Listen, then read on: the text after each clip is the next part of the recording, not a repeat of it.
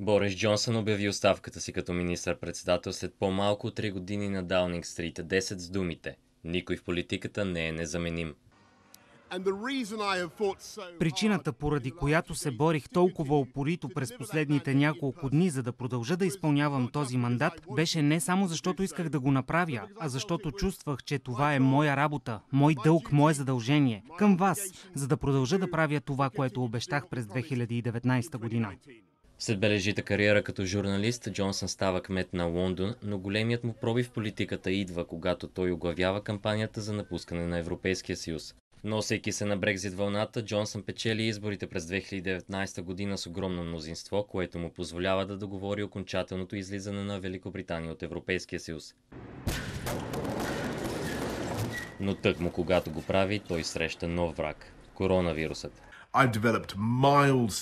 Развих леки симптоми на коронавирус, направих си тест, който излезе положителен и ще работя от вкъщи. След престой в интензивното отделение, Джонсън се завръща и ръководи страната в условията на глобална пандемия.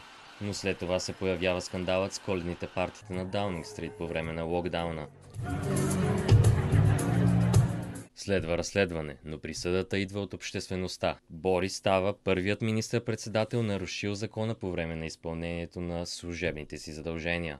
И тогава Джонсън вижда лъч светлина в края на тунела, печели вота на недоверие, но победата му се оказва краткотрайна.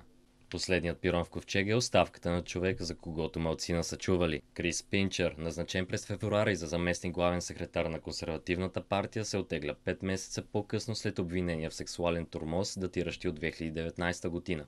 Бунтът срещу Джонсън започва във вторник, след като Даунинг Стрит признава, че премиерът е назначил Пинчер, въпреки че е знаел за обвиненията. Тогава правителството първи напускат финансовият министр Риши Сунак и здравният министр Саджид Джавид, а след тях цунами от оставки. В Уестминстър стадният инстинкт е силен и когато стадото се движи, то се движи. Джонсън потвърди, че ще остане на поста, докато не бъде избран нов лидер, за което в момента обаче няма ясен график.